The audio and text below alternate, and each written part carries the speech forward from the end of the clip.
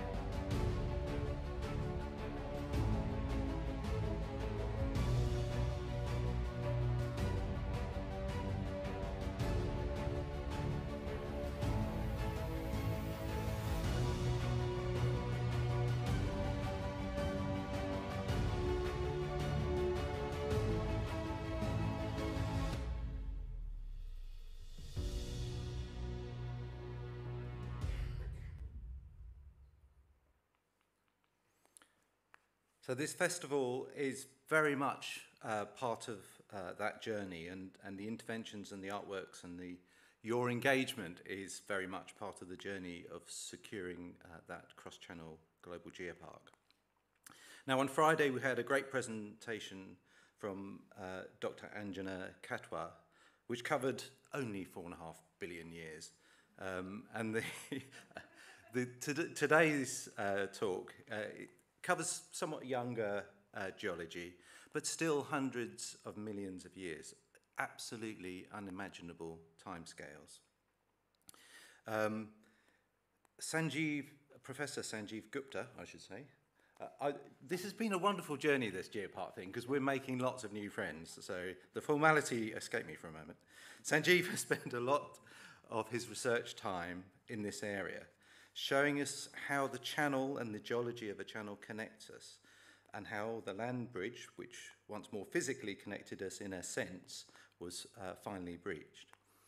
Sanjeev, you've been an absolutely brilliant and great and enthusiastic supporter of our ambition to create this cross-channel geopark. Um, and we're all, I think, really excited to hear from you, much less than from me. Sorry, much more for, than from me. So, Sanjeev, um, Professor Sanjeev Gupta, over to you. Thanks very much. It's absolutely a pleasure to be here and to have a conversation with you about your beautiful landscape here, which is really absolutely one of a kind on Earth and is really, really special. And what I'd like to do today is tell you a little bit of a story of a story actually about how we came to discover how we know a little bit about what we see here. I can get the, oh, I guess I can move this on.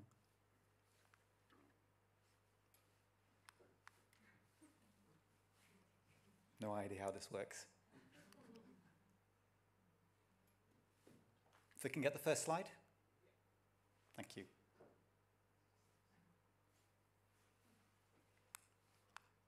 Ah, here we go. So I'm going to tell you about the channel puzzle.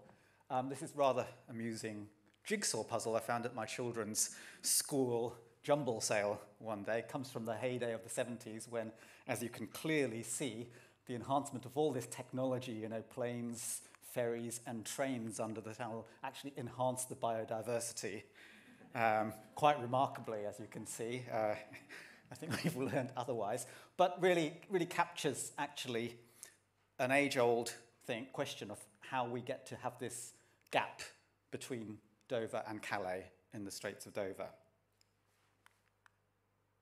Oh, I'm having difficulty with this.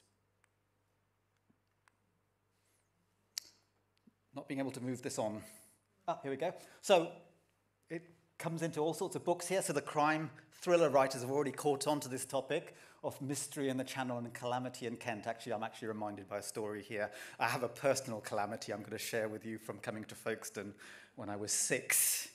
I grew up in Kent, and um, we did come on many day trips to Folkestone, and I lost my two little toy cars on the beach when the sea came in and washed them away. So if anyone's found them, please let me know. Um, but we will talk about the mystery in the channel and the calamity in Kent as we go forward.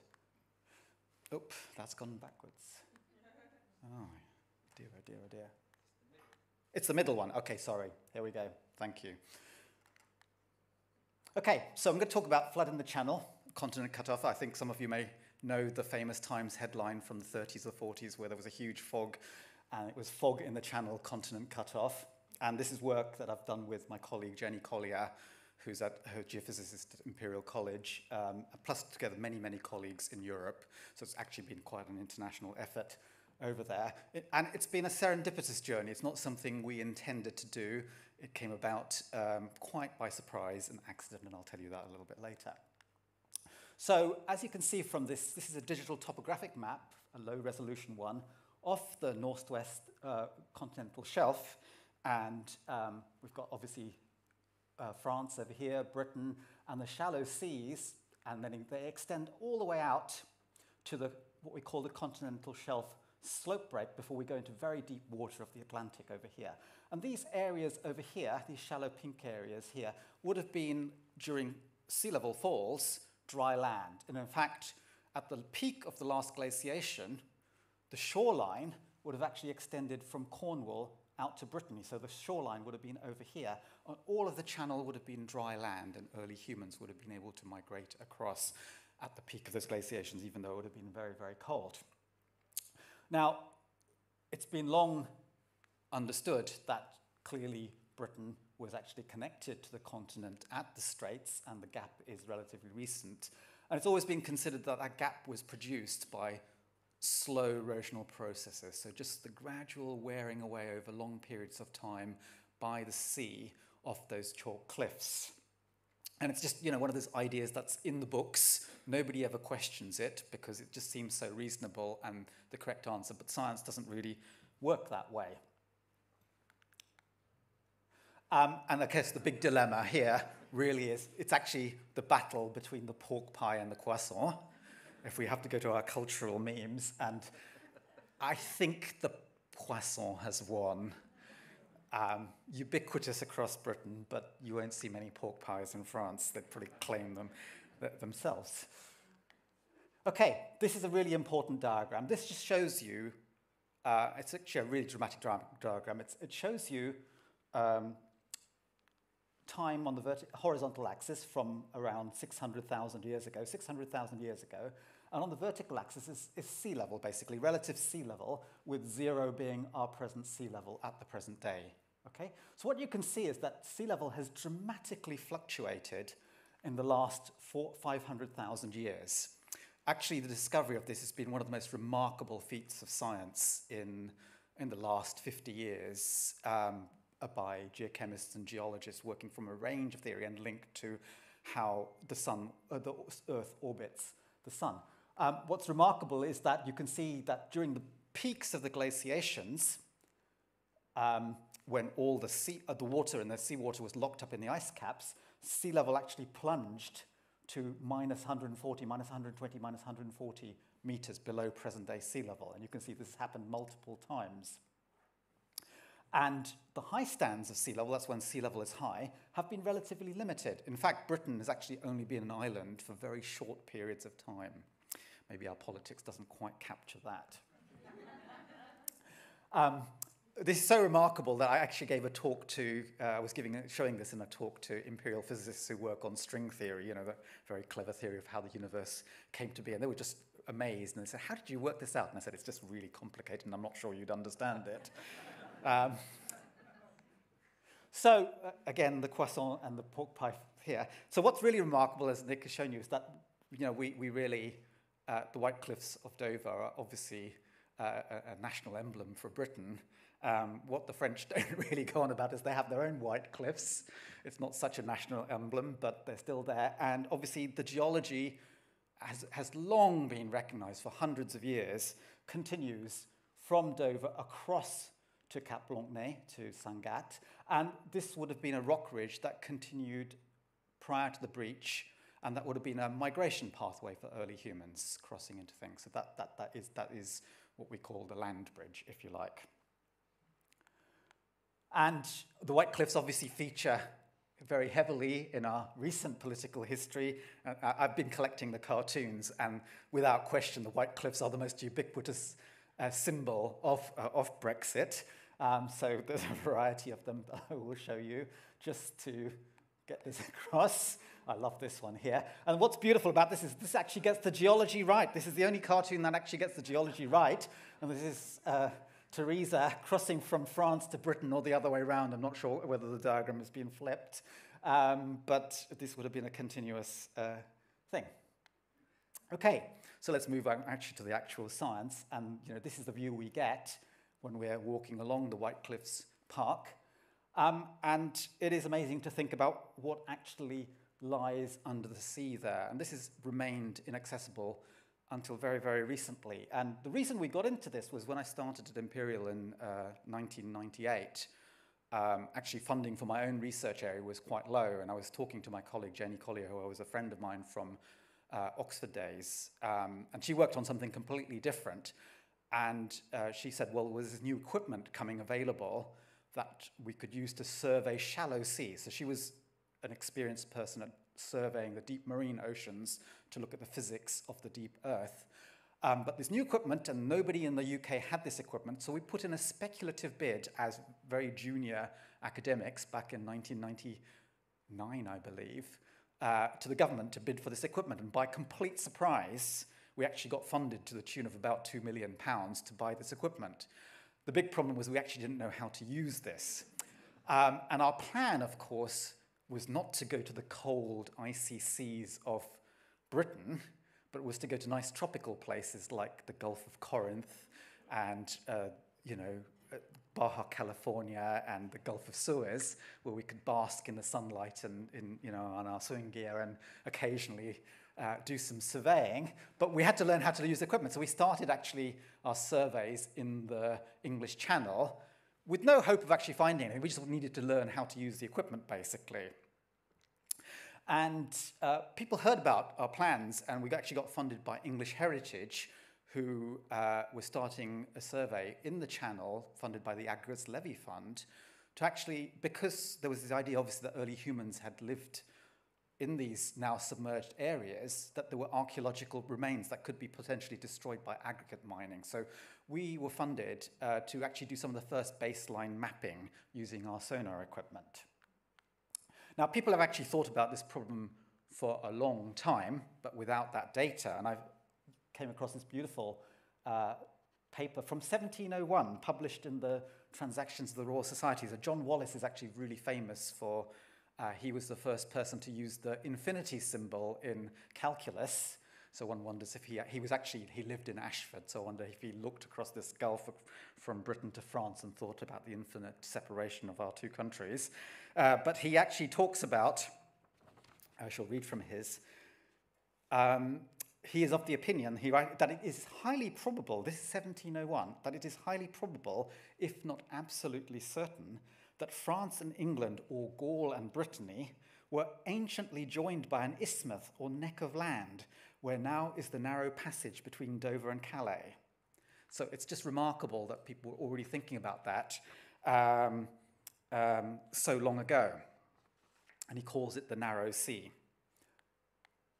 Um, and then subsequently, uh, geographers pondered um, um, all sorts of geographic maps without actually needing physical data. So this is a famous textbook from Jukes Browne, kind of around 1905. He was a very famous geographer, uh, which looks at the drainage patterns pre the breaching of the straits. And you can see that uh, we've got some small rivers running through the center of the channel. And then the big rivers actually run out to the Norwegian Sea, and that's mainly the Rhine and the Thames are confluent in the North Sea and drained out to the north. Then Dudley Stamp, following on an earlier work, uh, and Dudley Stamp was a very famous geographer uh, from the uh, 1940s, 1950s, um, actually first posited that there might have been a lake in the southern North Sea that had been dammed to the north by the ice sheets, the Scandinavian and British ice sheets coalescing, and the rock dam at the strait, basically, so the ridge at the Straits of Dover. And these were sort of, had been sort of speculated about in various literature, but again, we had no actual real data um, under the sea. And it wasn't until the 1960s when there was a huge program of joint collaboration between French and British geologists in actually, you know, really integrated study, actually mapping out uh, the form of the valleys, and a huge series of papers were produced in the 1970s. And this is a paper by, um, from a paper by Alex Smith, who's a geologist at, in the University of London, uh, where he took the, all those detailed maps and produced this compilation. And what this shows you in the channel is, in black, is a series of valleys that were carved into the rock floor of the English Channel and this has been compiled from lots and lots of different bits of data. Unfortunately, the original data is lost. I haven't even been able to get access to it. I'll find out where it is. Um, we're much better at keeping data these days, scientific data. It wasn't so great then. So I can't actually reconstruct how this map came to be. Uh, so it's partly science and partly a little bit of artistic license here, I, I think, um, in here. But um, Alex Smith actually wrote this very prescient paper. He described these valley systems, and he published this paper in Marine Geology in 1985, which I accidentally came about uh, in the library, um, where he described uh, a model, again, a speculative model, and science actually works on speculations. You throw yourself out there, and you're usually torn apart, and Alex Smith did get torn apart for the speculation. But he suggested that, that this valley system was produced by the overflow of this lake in a catastrophic process. Um, and his paper was met with deafening silence because it was so speculative and uh, people just didn't believe him. You know, there was no evidence. And basically, uh, it was a big leap. It was a big leap to go from, to this, from this map of these valley systems, people just argued that these are, these are normal river, river valleys carved by normal processes. And scientists don't like catastrophic processes because I think it takes them back to those flood episodes, you know, the ideas of a biblical flood, etc. And they like to obviously understand things. And where there's things they can't see, there's an idea in, in geology that's around the principle of uniformitarianism that processes that we see today have always acted in the past. So the past has been governed by present day pro the processes we see in the present. But because we can't see these high magnitude catastrophic events, scientists have great difficulty with that, and we've experienced that difficulty with our own papers. So we came across this paper whilst we were doing our surveys and thought, oh, okay, this is testable. We now have the equipment to be able to image this, etc. Okay, so um, funded by English Heritage, we went out completely clueless about how to operate this gear. So we were out from Brighton in this boat over here with our very expensive 800,000 pound sonar strapped to the side of the vessel. Fortunately, one of my best friends was an actually expert in using this, so we persuaded him to come over from Alaska to help us out and uh, had two very good uh, postdocs helping us on this. I was terrible at sea, so I'm not a marine geologist. This was completely new territory for me. I went a few times and was so seasick. It was unbelievable. I was completely useless, and I'm not very good technically either. So, um, uh, yeah, my kids just laugh at me. By the way, I have to take a picture of you all because my kids think that only two people ever come to my talks. so I'd like to convince them otherwise. Uh, and that, that two people is me and the introducer. so, so actually, quite a funny story was that when I went to see my two postdocs, um, they seemed to be really out of it. I was a bit concerned they were on drugs because they seemed to be completely doolally, frankly. I was a bit concerned. Um, it turned out they were taking seasickness tablets, uh, uh, which make you quite hazy, basically. But it's, it's really quite difficult working in the English Channel. It's quite it's the shallow waters, the waves, the climate. It's really hard work. And, but the results were just spectacular. And the beauty of doing sonar unlike other aspects of science where you have to process the data. We have to process the data, but you actually, when you're on the ship, on the boat, you actually see the data coming up. And this is the first bit of data we collected. Uh, and this is actually not the whole channel, but just a small part of the channel. And this is actually the, the River Arun, the offshore course of the River Arun that goes offshore. And you can see this in the bathymetric chart, and this is actually our sonar data. And you can see the valley edges over here, and you can see all this little detail here. So when we first produced these, I remember presenting them at an archaeological conference that had been organized by English Heritage, and you know, people were just amazed. I think I don't, think we realized how amazing it was that this was the first true high resolution view of the English Channel. Um, and actually, it appeared on the BBC News uh, the day after you know, we were called in to talk about this on BBC Six O'Clock News. I hadn't quite realized how significant that was, that to, to actually see something that nobody's actually seen before. It is like seeing another planet for the first time in some ways, even though it's in our backyard. Um, so, but that data is, let me just go back. Um, we've actually mapped with our own equipment an area of about 20 square kilometers um, in about two months at a very high resolution. This is uh, two meters uh, per pixel, so two meters resolution grid. Uh, the trouble is you can't map the entire English Channel like that. Now what had happened was that the, the, the people who are responsible for mapping the bathymetry of the channel and the seas around Britain are the UK Hydrographic Office, and that's for civil safety at sea. They, and they produce these charts, uh, and that's because obviously we don't want ships to run aground. Now, uh, unbeknownst to everybody in the scientific world, is that they actually had a relatively high resolution data set within their archives that nobody knew about. That was, was collected with older data, what we call single beam, which is just a single sound wave sent down to the seabed and it comes back up and you measure this, you know what the speed of sound in water is, so you measure the time and um, you can then measure the depth we, they were very, they, they, they, they, want, they were a bit worried about our new techniques because they thought it would put them all out of jobs, basically. Um, because they spent many months at sea collecting data with the traditional techniques. What they didn't realize was that with the high resolution techniques, you don't have to be at sea for very long, but it takes you many months to actually process the data. So nobody was going, it was just going to be a, a different sort of job, basically. So what we did was they gave us their original data and we processed it into a form that we can actually look at it. So what, when that, what they do is they actually have numbers on their charts with just the depth points, but that doesn't show you the landscape. And so you have to interpolate the surfaces between those data points. So that's basically interpreting between, oops, between all of these different depth points that you have. Each of these crosses is a depth point. And so what I'm going to show you next is actually what, this, what the floor in the central part of the channel, south of Brighton, looks like. And this is it. Um, and, and it's just beautiful. What you can see here, what you're looking at in these colors is depth, the color-coded depth, basically. So the yellows are about minus 30 meters water depth. You can see the Isle of Wight here, that's about 45 kilometers across. Um, and the yellows are uh, 30 meters water depth, the greens are about 40 meters, and then the blues are getting down into minus 60, minus 70, and then down here, we're getting down into about minus 90 meters water depth.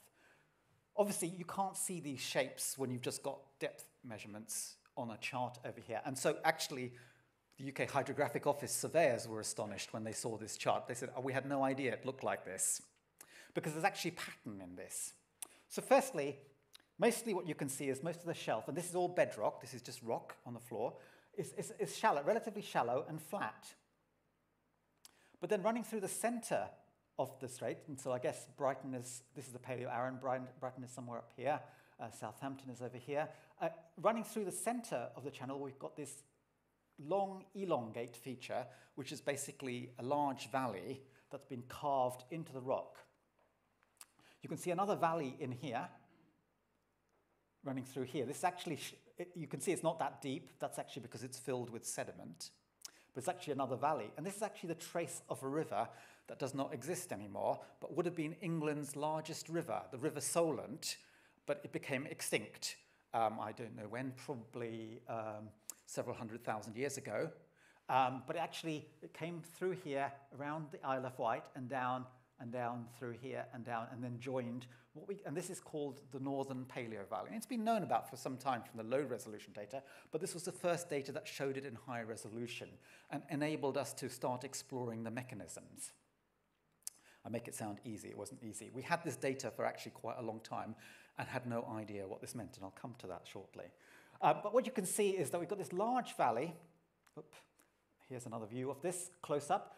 You can see the Paleosolent over here. We've got this large valley running through the center of the channel.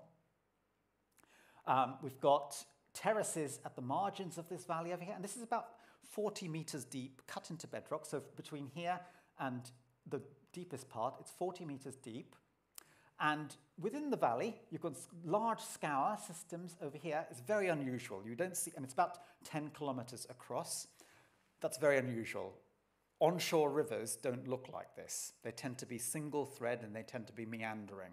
And this is a large valley. And then you've got these island-like features, which are very important, um, which have this lozenge shape uh, in the center of the valleys. Here's another view of this, uh, closer up with different color shading. Um, these black holes, black, black uh, circles, are actually where the British Geological Survey have actually cored the rock so they know what the geology is. And we know that all of the rock here is actually chalk. But now you can see even more detail here in this close-up. You can see these island-like features over here, beautifully here. And then you've got this lovely terrace that's carved into the edge of the valley. And look how smooth the sides of the valleys are over here. And then we've got these little drainage patterns superimposed, but much smaller. And then on the floor, I'm going to show you high resolution data in a bit, uh, you've got these linear features, these sort of erosional scours formed on the base of this thing. Nobody had seen anything like this before. This was entirely new. And actually, even as scientists, we had no idea what this meant. This was completely outside my realm of experience. And actually, science, uh, sometimes I think people outside science think that you know, we kind of understand it all. No, actually, most of the time I spend scratching my head wondering what, what does this mean? Okay, so I'm going to take you to the Western US. How do we explain this? Well, what actually happened was, um, I'll come to the story, what actually happened. There is actually a landscape similar to this in the Western US. It's actually a very famous story in the Western US, and every geologist, it's very publicly known, but we don't really know about this in Europe. This is a very famous American geologist called J. Harlan Bretz, who in the 1920s and 30s mapped an area of really weird landscapes in, uh, in Oregon State, in, in Washington State, in eastern Washington State, that's called the Channeled Scabland. It's very, very bizarre terrain, uh, beautiful to go to. And he posited um, in the 1920s that this landscape, bizarre landscape uh, had been carved by large-scale floods. Um, and he had a similar, even worse reaction than actually Smith. Um, well, Smith was just ignored, whereas J. Harlan Bretz was actually vehemently opposed in public by scientists for completely crazy ideas, which actually held back the science for about 40 years. So his views were completely repressed by leading scientists of the time, and it wasn't until the 1960s, when he was 90, that they were actually firmly accepted. It took a long time uh, um, there. So this is the place called the Channel Scabland over here, which comprises these really large valleys that have been carved into really hard rock basalt, volcanic rocks. When you go there, you see landscapes like this. So you see these completely dry valleys. These are actually huge valleys, much larger than what we see in the English Channel. Um, these are about 100 meters deep, carved into uh, bedrock. These are all volcanic flows over here. Um, but the trouble is, you can see there's no rivers flowing through here. So normally you'd regard a, valley as being carved by rivers, but there's no rivers at all. And um, um, Bretz said, well, how do we explain this landscape without rivers? And people said, oh, the rivers died out, but there's no evidence for rivers. Um, other people said these were carved by glaciers, but we now know that the glaciers didn't actually advance this far. And what we find is that the surfaces over here are actually strewn with giant boulders, but boulders the size of this room. So just imagine that. There are boulders the size of this room lying on the surface. Normal rivers can't move boulders like that, so people said those were glaciers, but we now know that that's completely wrong. So it requires tremendous forces to move those.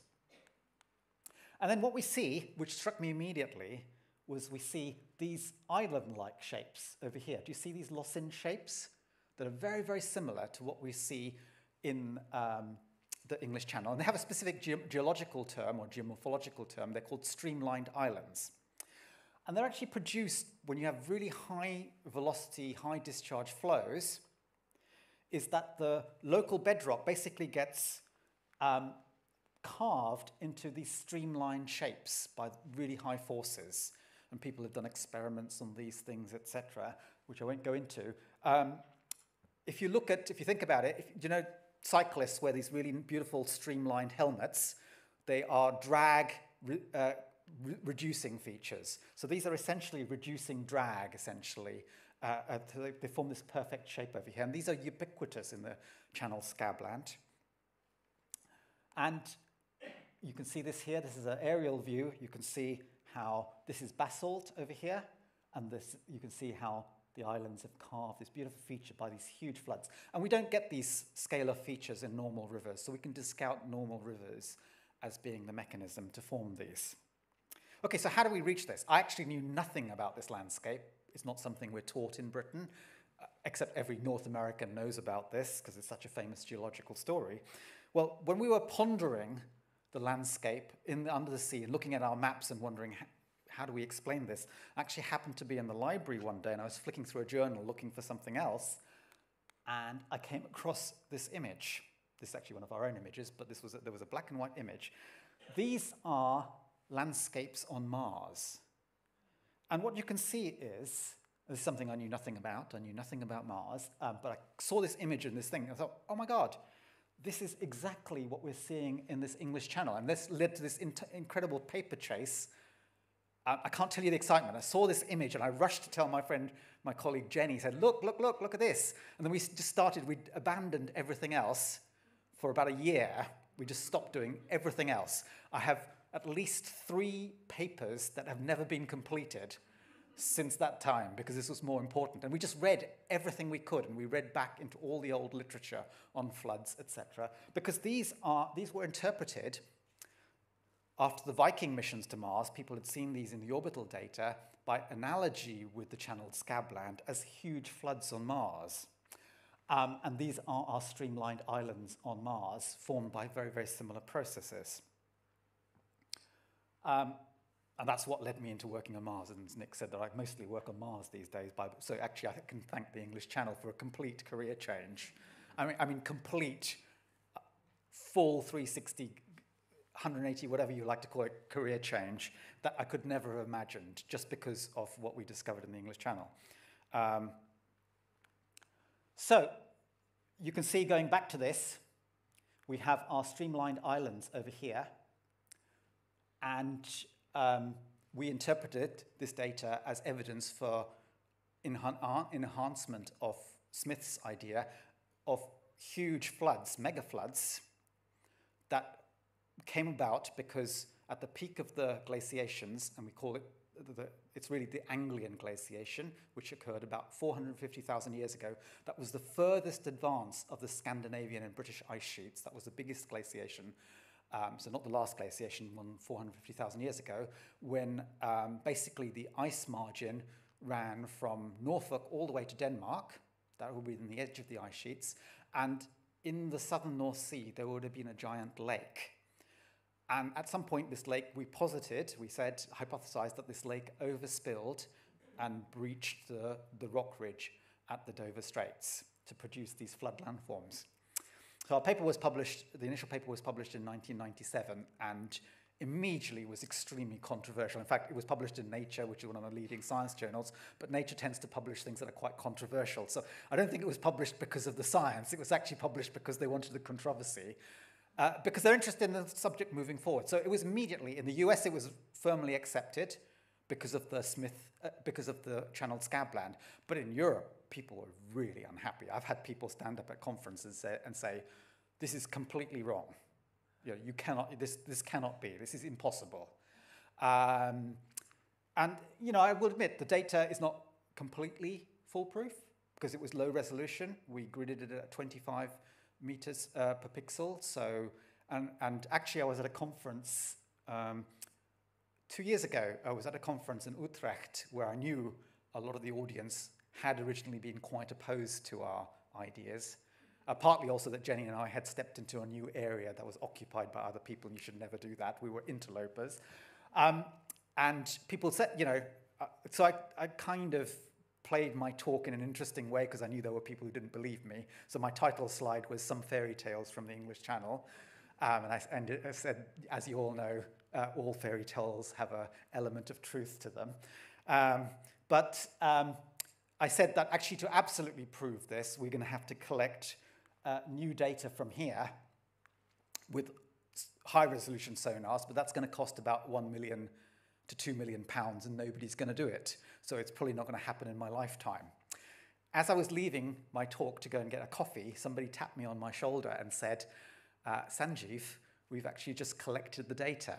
And unbeknownst to us, actually, uh, Cefas and uh, English Nature had actually, uh, the Marine Conservancy had actually collected the data for um, marine, conservation. So here is the, oh, I'm going to show you that later, actually, that data. Comes up. Okay, after our initial paper, we set about mapping the entire channel with any data we could get hold of ourselves, which was quite difficult. And you can see at that stage, the French had very little data. Over here, they were quite embarrassed by that. They've subsequently collected the data. But you can see this was the area we had data for. And you can see the channel valley actually extends into the Dover Straits. Over here, we lose it because it's actually filled with sediment. If we go to Calais, to Dover, you can see here's this prominent valley running through the center of the channel of the Dover Straits, and this is called the Lobourg Valley over here. So we've got Dover over here, Folkestone down here, and Calais, and you can see this really prominent valley running through the center and then connects up to that channel over here. So our idea was that basically, and this is the chalk ridge over here, so this is the escarpment that stretches across the North Downs all the way across to Calais.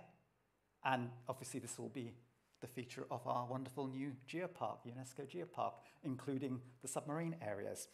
Um, and what we wanted to do was to survey in this area. Fact, that was my idea. And Jenny said, who's a marine geophysicist, said, uh, no, I'm not doing it. This is the world's busiest shipping lane and also has some of the highest tides in the world. The tides run like this, and to do surveys, you need to be going like this, parallel to the uh, ferries that are going this way and that way, and the container ships that are going this way and that way. It's a complete nightmare. So she said no. And anyway, we didn't get funded, so that was the thing. Um, but we were looking, for, looking to see what was published, and I actually found this um, um, French thesis online, wonderful Google. I found this French thesis that had collected some, some data from this area in the, in the early 2000s. But the, date, the interpretation was wrong, but I managed to track down who the supervisor of the student was, and I phoned him up. And what they'd done is not just bathymetry data, they'd actually collected subsurface data. That's data that's from going beneath the rock layers. And they showed some really interesting features. So I phoned this person up, Alain um, who's at the University of Lille, uh, who's subsequently been involved in our work, and he said, hmm, Alain is quite vague at times. He said, hmm, let me see, that was a long time ago. I will go and look in my lab.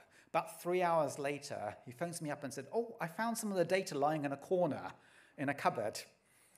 Um, it looks quite interesting, he said. So we actually took the next train, the Ch Channel Tunnel, over the following day, and the data was just remarkable. But it was paper data. And then in six months' time, he actually found the data drive that he actually had the electronic data stored on, which was remarkable.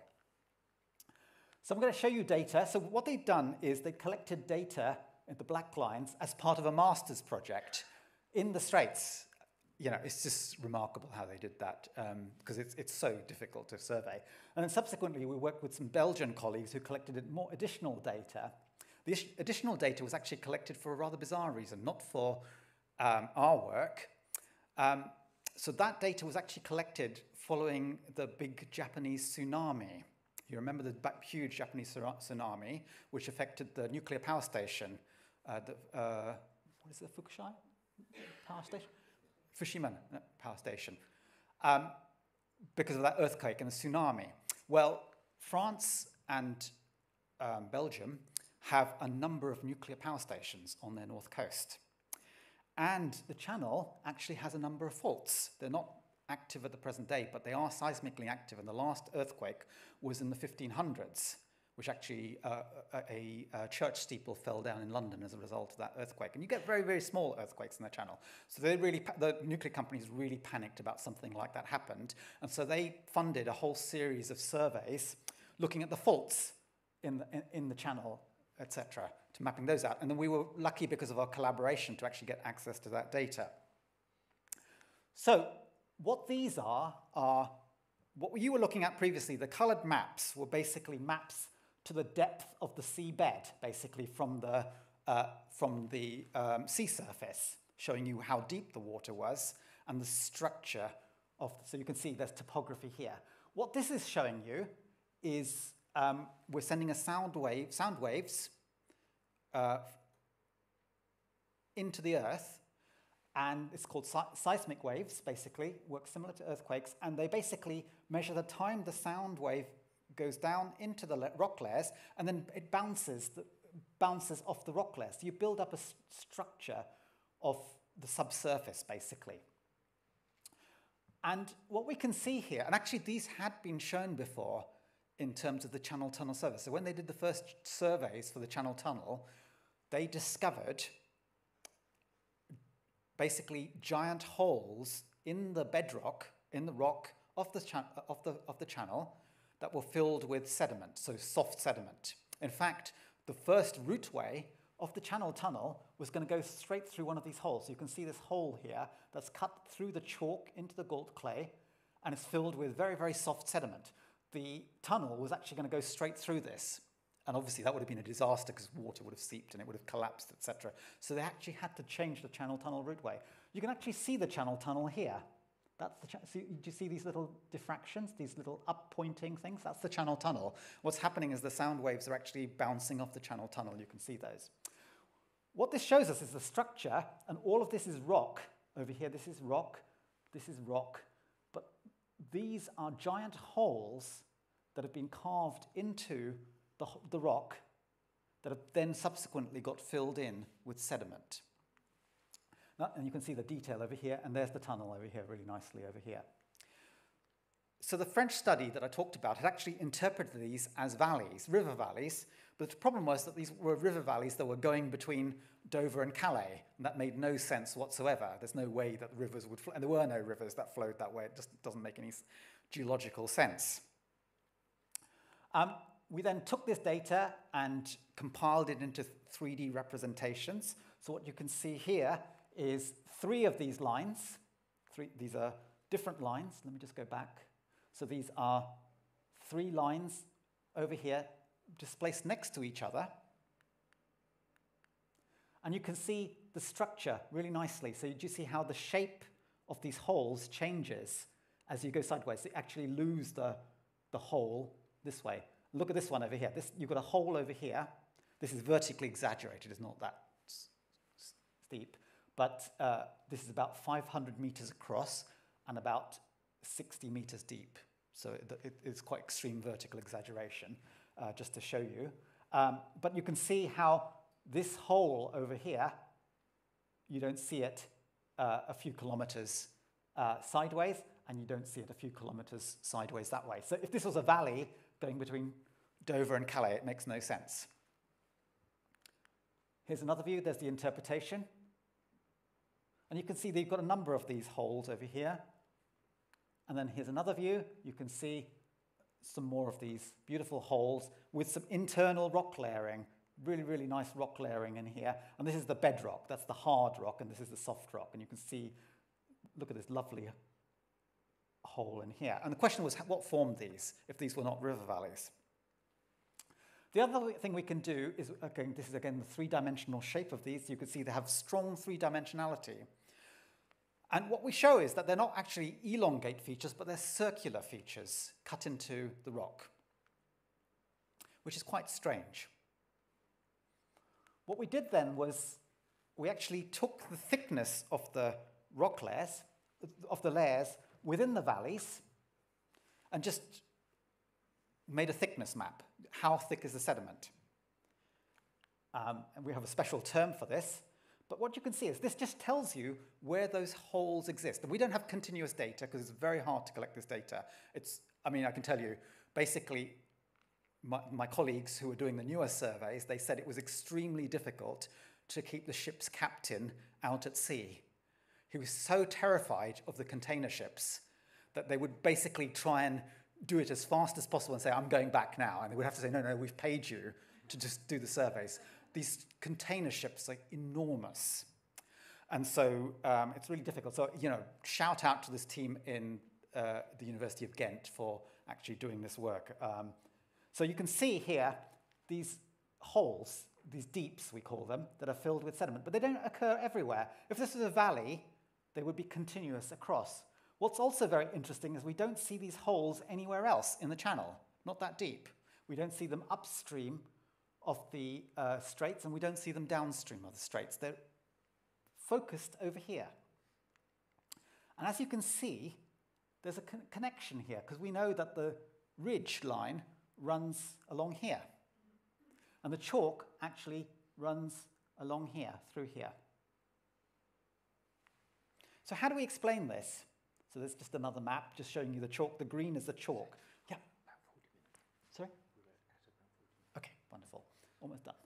So you can see the valley here, running down here, and these, these are the, the red ones are the holes, and you can see this is the North Downs over here, the rock ridge would have extended all the way across to France, and you can see basically these holes occur at the foot of the escarpment of the chalk. They're completely localized there, and they don't occur anywhere else. We've not found them anywhere else. So our interpretation of this, there's another view of these holes. And our interpretation is that these are giant plunge pools. So what we think happened was that this is a cross section across the escarpment. So this is the North Downs escarpment, basically. And this is to the northeast, and this is to the southwest. And the lake would have extended all the way to the crest of the escarpment over here. But to the south of the escarpment, there's a vertical face. And we believe that what happened was that water overspilled and created a giant waterfall. At the, it's not Niagara Falls, it's much broader, but it's a waterfall nevertheless. And th this is an experiment, uh, not done by us, this is actually done by uh, engineers, civil engineers, who are looking at dam breaches. They look at how dams collapse and they look at what, what are the consequences of a downstream. What happens when you do a dam breach is that you essentially you get a hose of water and sediment piling into the rock downstream of the dam, and it produces a giant hole, or a plunge pool. So this is only a few, you know, tens of centimeters across. So we believe that these um, holes essentially are huge plunge pools, but these are the largest plunge pools on Earth. You see plunge pools elsewhere, but they're produced by very steep but narrow waterfalls. This is a very broad range of waterfalls across the entire strait, and um, these are up to 90 meters deep, up to 100 meters deep, but hundreds of meters wide. And so this requires huge sustained water flows to produce these things. So um, when we published this paper in 2017, um, so there's a story behind this beautiful graphic. I was very uncertain about this graphic. So when we were, um, our university, our press officer wanted to do a press release on this story. Uh, we'd had, for the first paper, we had had an amazing press coverage. It was completely, I was totally unprepared for it. So was our press officer because he'd been in his job for two days, and it was one of the biggest stories Imperial had ever had. Um, um, but he was still the press officer for this, so this time we were prepared. And he phoned me up one day just before the publication, and um, he said, um, Sanjeev, firstly, I just want to discuss something with you, but we'd, like you to sit down first. Uh, so I sat down. He said, um, um, We'd like to do a graphic, and I found an artist. I'm going to sh show you some examples of his work. Um, uh, but just bear with me, he said. So he showed me these pictures. And he'd actually found this fantasy artist who had pictures of knights and pterodactyls and dragons. It was fabulous. But this artist who lives in New York actually produced this, actually within a week. This is all done digitally on an iPad in one week with continuous talk between a whole number of scientists trying to get the science right. It's not completely right, I would say. I think the, the, it's too steep. I don't think that's accurate. Um, but you know, you have to, you, it's a bit of artistic license, if you like, to convey this. Um, this was hugely successful. It's just sort of become a meme for this topic, and that's perfectly okay um, um over there. Just to convey that sense of this ice lake that existed in the North Sea and this dramatic uh, feature, maybe not as steep as this, but would have been pretty dramatic landscape. And then this dry land, this would have occurred when the sea didn't exist, uh, at the peak of the glaciations, this dry land that was suddenly carved by the complete breaching of this. So this is just, just the moments, if you like. It's fossilized landscape picture just before the breach, basically. And you know, once one of the breaches start going, the whole edifice would have collapsed. And there would have been people living, likely, in the channel. And it would have been extraordinary to, well, you wouldn't have wanted to be there, frankly. Anyway, um, so the work has been taken up by artists, actually. I know there's some artists involved with this, but I, just wanted to introduce you to this work by a Dutch artist called Leonard who a few years ago. So what was interesting about our paper was our paper actually was published a week after Article 50 was enacted. So we were a little bit naughty, and we, we the tagline for our paper was Brexit 1.0. Um, and this artist got really interested in this, so he, he actually took our painting, printed it, or that picture, and printed it on this uh, uh, paper, and then burnt it as a, as a representation of Brexit, if you like. An interesting uh, sort of metaphor, if you like. And this was then displayed in a gallery in Holland a couple of years ago. Ah, so there's also features, I'm going to stop very shortly. There's also some amazing features actually on the floor that you can see, just these beautiful landscapes that you can see. But we also see some remarkable waterfalls, or paleo waterfalls, fossil waterfalls, preserved on the floor of the channel in the present day landscape. And you can see these features over here. This wall here is 20 meters high, and we've got a plunge pool in here and a scour in here. And these are actually later floods. So we had the big flood that made the complete breach and created those giant holes that were filled with sediment. But then we had subsequent floods, maybe from some smaller lakes during subsequent glaciations, that actually then continue to erode the channel floor. And we can see these features here now. And this is an example of a, this is a giant cataract in the, in the channeled scabland that you can see here. This is 100 meters high, so this is significantly bigger than something like this. But you can see the form of this and the shape of the landscape. And then we see erosional features. These are some really bizarre features that we don't quite understand yet. And um, this figure it hasn't coming, not coming out on the screen, but this is the figure that nails this. I'll have to show it to you on a computer if anybody's interested. This is the new high resolution data that I said was collected uh, uh, a couple of years ago for uh, nature for, for, for designating marine protected areas. And this absolutely nails it, that this was a flood landscape, because what we see is we see these beautiful grooves, these erosional grooves carved into the floor. This is one meter resolution data, so each object that you can see on there is one meter resolution. And um, there's no way that rivers can produce these sorts of things. It requires high magnitude flows. So that, that we, we basically, I think the question for that, and all, the, all our opponents have kind of now swung back to actually believing us, which is nice. It's happened in my lifetime, which is quite nice, unlike haven't had to wait 40 years like Bretz.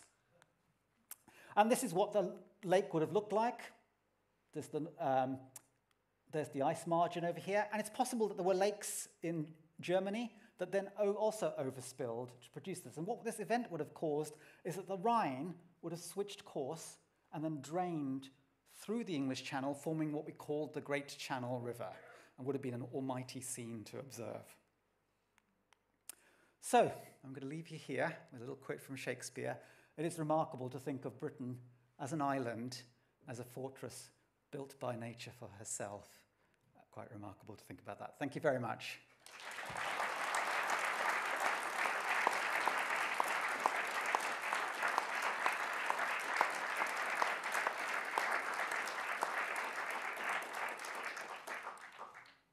Thank you so much, Sanjeev. Um, we're now going to have a, a, moment to have some, some questions um, and extend the conversation a bit.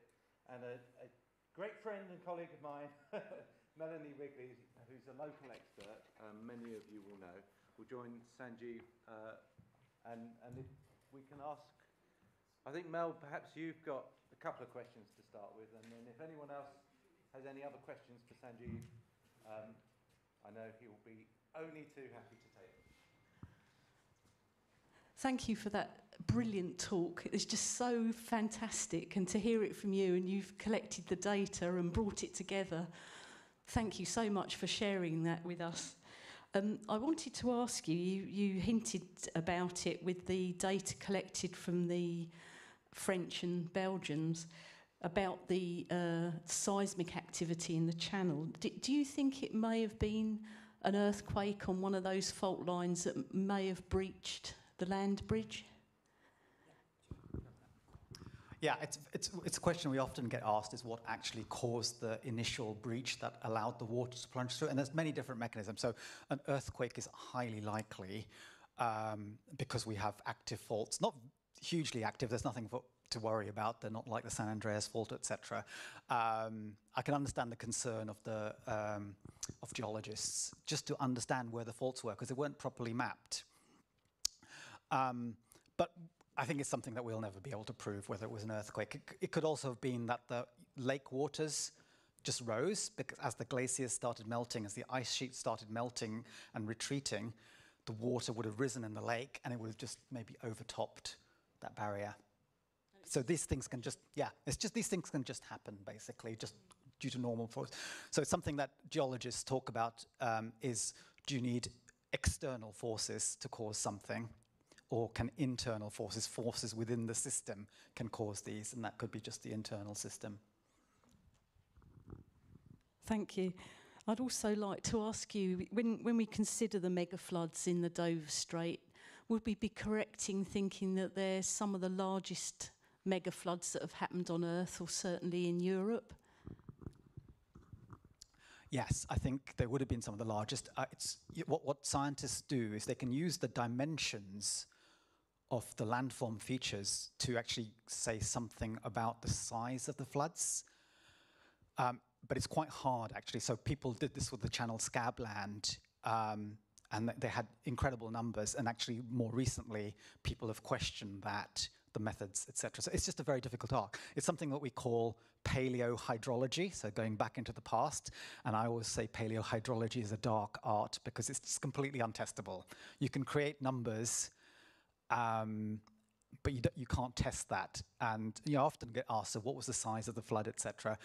Um, and we don't know. What we can do is that there are some floods that we know quite well. So there's one flood in particular, again in the western US, it's called the Bonneville flood. And this was a one-time event. If, if any of you have been to Salt Lake City in Utah, there's a huge salt lake. And this was during, uh, again, during glacial periods or um, around 15,000 years ago, this would have been a huge lake.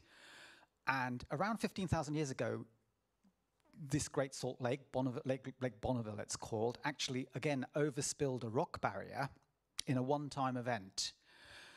And because it's a much younger flood event, that was 15,000 years ago, whereas our flood was 450,000 years ago, and it's also on land, um, people can measure the dimensions of the channel that was produced by the flood very accurately, so they can measure, I think they can get, get, guesstimate the flood discharges. But we also know what the volume of water was in the lake because the lake shorelines are really well mapped.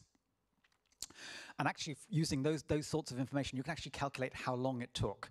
So they estimate that Lake Bonneville actually drained in a flood event that lasted several months. So, you know, initial high peak and then slowly draining. So imagine something like that for, uh, obviously the English Channel Lake, the North Sea Lake would have been much larger, um, but something like that over several months to drain. Thank you.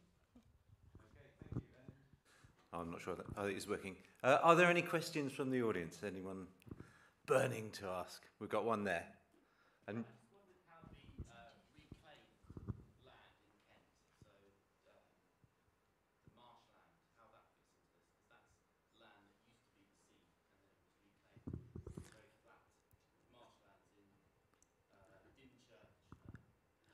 Yeah, I'm not sure about that relationship. I think that's re related to sort of later geomorph geomorphic development. I think what's interesting is the the Pebble Beach at Dungeness is very interesting because obviously it's made out of flint and a big and that's, that's quite an unusual feature. You don't really see these things over the world.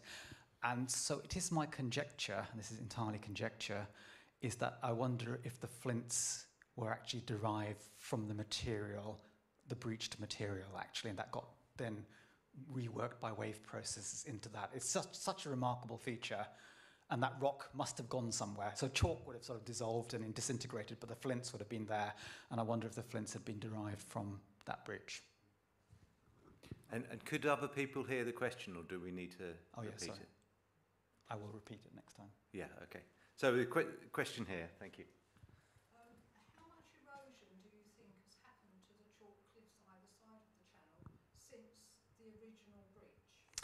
Oh, yeah, that's another difficult question. That's a really good question. Um, I think quite a lot has been eroded by lateral retreat of the sea cliffs. Um, it's something I've meant to look into. So I've got colleagues at Imperial College who've actually been, they use a very interesting technique called cosmogenic isotope dating, where it basically, what it can do is it can, um, you look at the last time the rock was exposed to sunlight, basically, which carries cosmic rays and can change, cause changes in the minerals and, and, and rocks, etc., in a simple way. So they can, it's, it's a form of surface exposure dating. It dates when a rock was exposed. And what they've been using this technique for is to measure long-term rates of cliff retreat.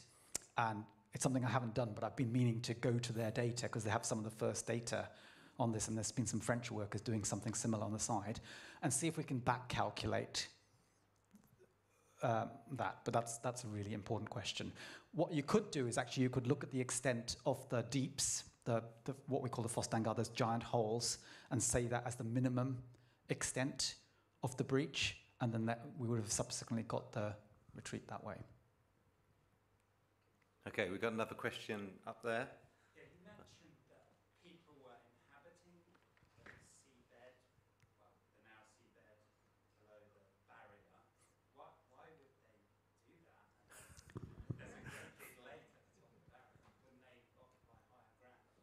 Um, so, um, so firstly, we're not absolutely sure there were people there. That's a conjecture again. I think it's like, um, it could, because it would have been quite cold. So what's interesting is that the archaeologists have been very, very interested in our work. because um, in parallel, there was a really big project going on led by people from the Natural History Museum and the British Museum in documenting the early human occupation of Britain. Um, uh, led by Professor Chris Stringer, who's at the Natural History Museum Britain has a, southern Britain has a very rich record of lithics, so stone tools, that indicate that early uh, southern England was occupied by early humans during the warm stages. So certainly um, there were multiple episodes of occupation. The low-lying areas in the channel would actually have been quite a nice pre-breaching and during, uh, during you know, this, it's this period, it's not completely cold and not completely warm. So when it's still a landmass before the sea floods in, um, would have been quite a nice area. You know, there would have been small rivers, there would have been floodplains, would have been a good place to live. The lake would have formed at the peak of the glaciations. So it's likely that people may still have been occupying these areas during these cold stages. What's very interesting, this is what's got archaeologists really interested, is that we see a early rich record of early humans, and then around about 180,000 years ago to uh, about 60,000 years ago, we have no current evidence of early humans living in Britain. So that means that people look at the rocks or the sediments from that time and they haven't found stone tools in those. That's not, that, that might just be a sampling bias in that we haven't found stone tools, but there is this gap. And the idea there is that maybe because of the breach and the change in the landscape, people were no, no longer able to cross the land bridge. And also there would have been a huge river occupying the central channel, it would have been very difficult to cross. So maybe early humans, Neanderthals, would not have been able to cross into southern England. Uh, so there's, there's the, uh, we're in an interglacial at the moment. In the prior interglacial, what we called the interglacial 5E, there's even though temperatures were actually much warmer than the present interglacial in, in Britain, there's no evidence for early humans, so which seems remarkable. So um, either we haven't found the evidence or that basically the change in the landscape basically prevented people um, migrating. Thank you. And I think I don't want to keep you longer than we promised. So one more question. There was a question here. There. Oh, no, sorry. Okay, we'll go with you. sorry about that. Um, not exactly, but there's a relationship, obviously. So Doggerland is area, so this question was, you know, how does this tie in with Doggerland? Um, and so Doggerland is really related to the last sea level rise. So after the last glacial maximum, sea level progressively rose to our present day sea level, um, because we no longer had this land bridge, the sea would have actually flooded through the Straits of Dover, and the lowest lying area would have been in the southern North Sea, in the northern part of the southern North Sea, which is this area called Doggerland. That was a term that was co coined by an archaeologist called Brian E. Coles. Um, uh, that has been extensively studied, and this was this relatively high-lying area, and it's likely that, again, early humans occupied that area, but that's a much younger story than our story. Okay. I think we'll, we'll stop it there, but Sanjeev is a very generous man. So if you do have other questions, I'm sure yeah. do come and say hello to Sanjeev. So um, what a what an absolutely extraordinary story and so beautifully told. Plenty of humour. I like that, Sanjeev. So could we uh, thank Sanjeev, uh, Professor Sanjeev Gupta once more uh, for joining us after just coming back from a conference, flying in yesterday and coming straight down here to speak to us. Thank you. Thank you, Sanjeev.